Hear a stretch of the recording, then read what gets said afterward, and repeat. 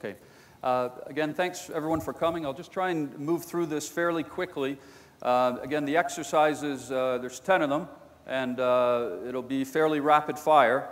Uh, and obviously, not expecting you to go back and, and do them this quickly with, with your teams, but take the ideas and expand, expand upon them. And what we'll start here, just a couple things are going to come out in each exercise. We're going to start with the individual defending stuff to begin with.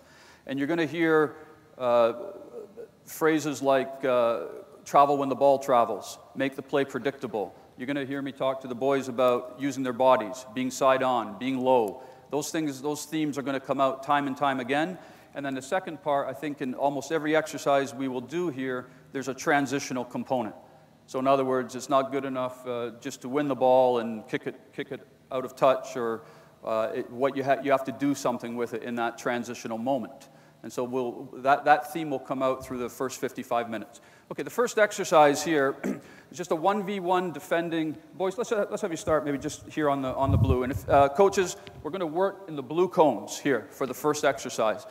Uh, so we're going to walk through it to begin with. Dan, go ahead and serve and just travel as the ball travels to close down, close down your teammate and stop right there.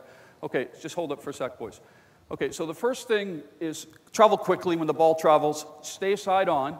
And let's, uh, let's add one more thing. Let's make it predictable. Let's make it really clear rather than just tr- running at the ball. Let's make it really clear I want them going back that way, or you're going to curve your run that way. So we'll ask the boys to curve, curve the run that way. Okay, and uh, def- uh, attackers, hit top speed, try and get yourself over the end line. Defenders, can you win the ball and put it back into that net? So, not good enough to, to knock the ball out of, out of play. Let's just see how that looks. Okay, play. Okay, good, excellent. Use of the body, well done. Okay, and stop for a second. Okay, let's just go again. We'll run through maybe three or four, and then I want to make a couple of points. Okay, ready to travel when the ball travels? Okay, play. And what side? Okay, he's made it clear. Okay, well done, good dribbling. Okay, play.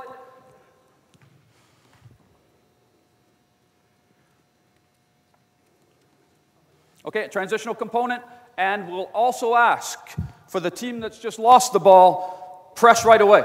So, attackers, if you've lost the ball, pre- press right away. Okay, boys, listen up, and this is for the coaches as well. Go ahead and play in, Dan. Okay, and just hold the ball for a second. This time, each the first three defenders, uh, only one use the arms. So I want you now take your touch out there. Can we step across the player and get your body between the player and the ball? Okay, and if the let's play back in, Dan.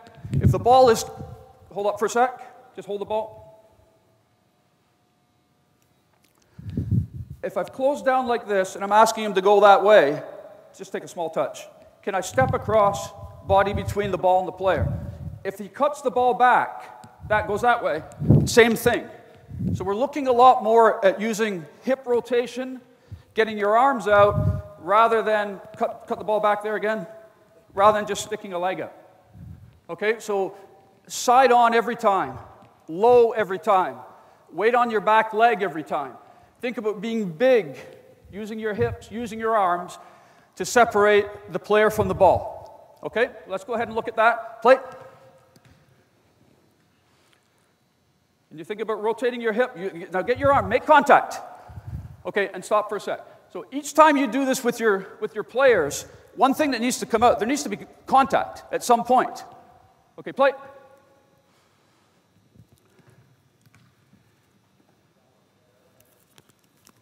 Lower and stay side on. Great hip, great hip rotation. Well done. Good defending. Can, can that ball be kept now? Rather than knocking it out, can the ball be kept? Contact. Okay, play.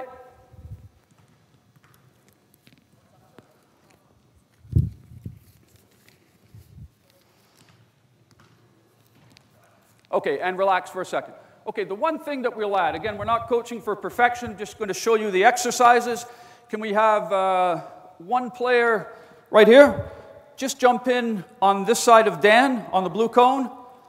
And this player is now a wall player. So when I go in to defend here, ball played in, show, show as a wall player. You can come in tight, come in tight as well. Get into the grid. Yeah, show as a wall player, play him, try and get behind. And you drop off and keep the play in front of you. See the player and see the ball. If I have one possession, play, play back into him. and I, I win, just dribble at me, and I win possession, you're now going for me, and I'm back in. So again, we have that transitional component. Okay, when you're defending against the wall pass, it's a straight drop, see the player, see the ball. Human nature, you'll do this, walk towards the ball. Okay, let's just take a look quickly, boys. Play. Okay, and just one touch for the ball player. Okay, sorry. Play. Here we go. Just one touch for the wall player. Back in, wall player.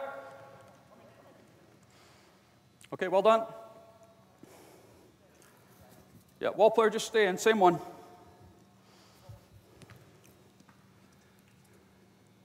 Okay, and stop. Just one touch for the wall player. One more time.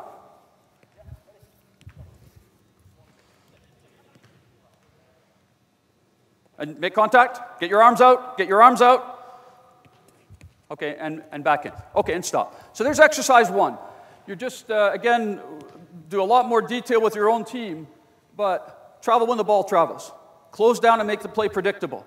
Stay low, stay side on, make early contact, focus a lot more on rotating your hips, using your arms to step in between the player and the ball. Okay, and when you win it, you're right back into transition to finish off the attack.